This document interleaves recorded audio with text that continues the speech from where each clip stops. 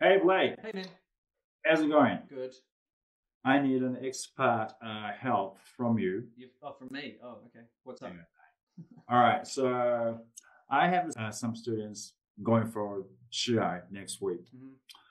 and of course I've done a lot of things uh, for them uh, at the dojo, but it's one week, man. Uh, next week, what what else can I do for them?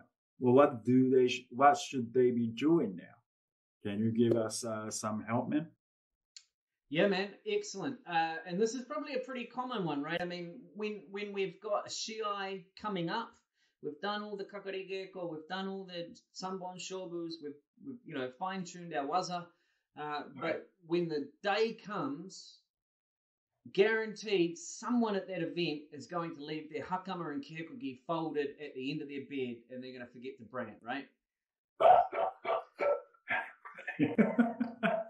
because I used to do that. I used to do that. Um, the- so the thing is, like, when we talk about getting ready for a Shiai, one thing that we don't talk about very often uh, is what's happening up here, right? So the routines that we would normally just take for granted. We get up, have breakfast, we, you know, have a shower, we do all those sorts of things.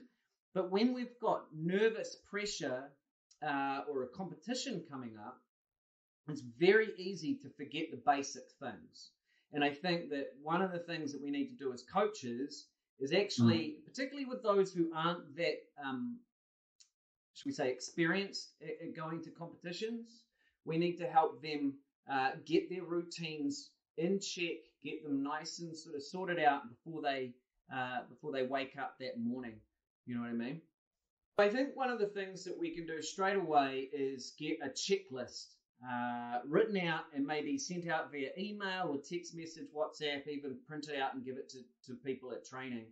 Um, and include the things that they need to take. And those of you who have kids who are of the age where they go on school camps uh, will probably have a very good template right off the bat. So we'll have things like water bottle, uh, some snacks, you know, bananas, muesli bars, or, or whatever, spear shinai, tenugui, you know, all those basic things because we take it for granted sometimes. And I said to you before, I went away to gasshuku, you know, I would go away to, to gasshuku and, and Shiai, and I would forget my hakama, you know, and it would just be, it would just go straight on my head because I was nervous or excited or however you want to frame it.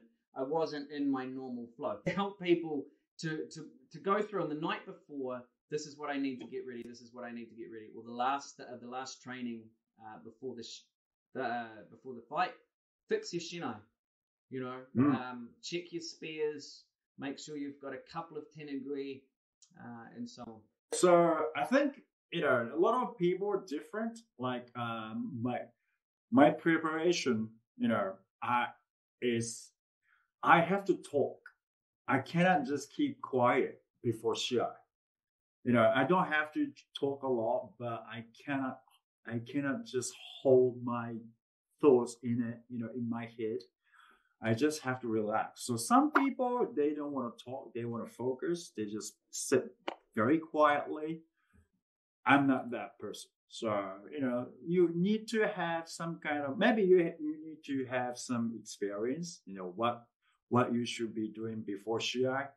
But I, I found out, you know, I don't want to be quiet before Shiai. I have to relax. And by relaxing, I have to talk a little bit with my mates. Yeah.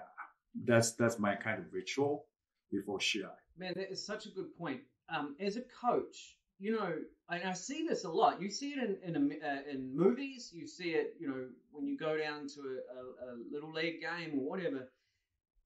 Sometimes coaches, or more often than not, coaches tend to have this idea that as a team, because we're all a team and we've all trained together, we all have the same ways of Mhm. getting ready, and that's just not true.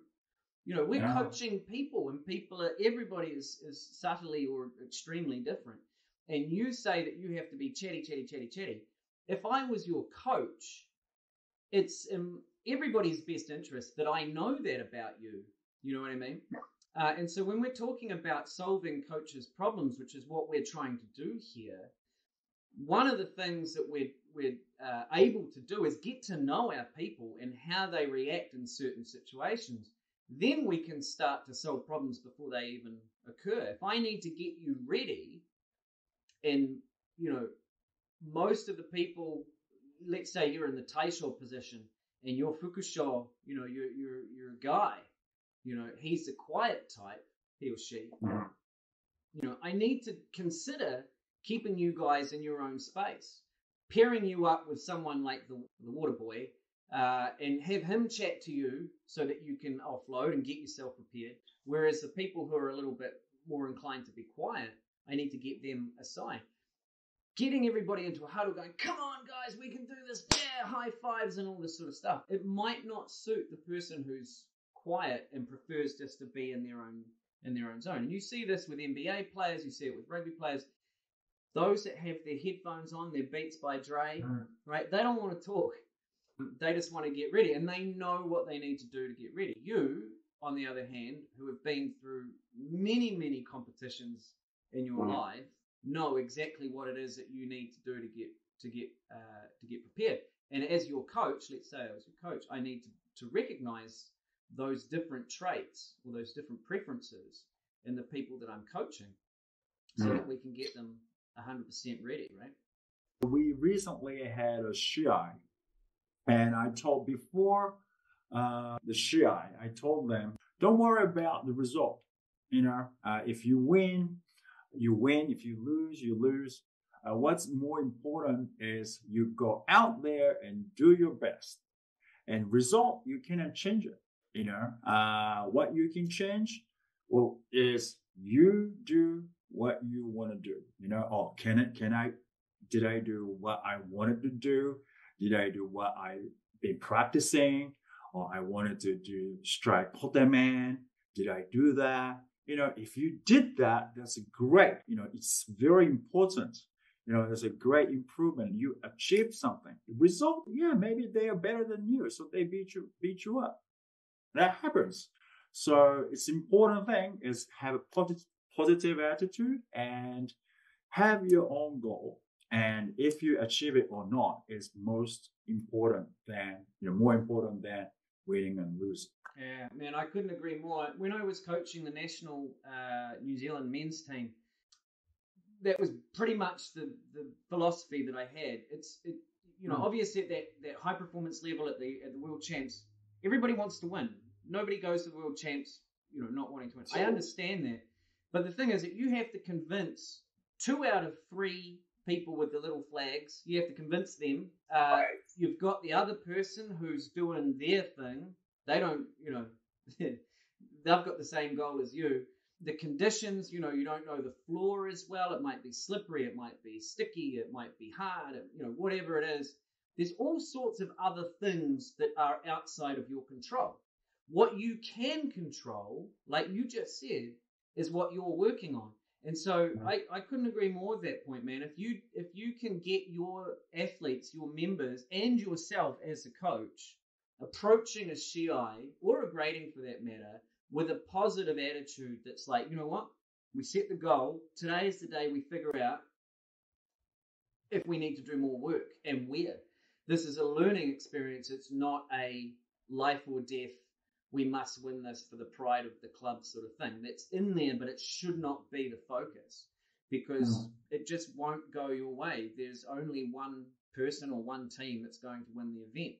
Uh, so Right. what else can we take away from it? And I think that's absolutely right, man. Particularly when we're working with kids, young adults, teenagers, um, is to reinforce that message. What are the learning opportunities that we have here? Because you might lose, you might fail. That doesn't make you less of a person. It No. just means that we're cl- clearer on what we need to work on here. So shifting that attitude as a coach and enforcing or reinforcing that message, I believe from my experience and clearly you as well, this starts to alleviate or solve a lot of problems before they begin. Oh, good chat, man. As always, here we are solving Kendo Coach's problems. If you have any problems that you would like us to unpack for you, please let us know down below. If you want to connect, we'd love to hear from you. Thank you very much, Hiro. It's lovely to talk to you, me.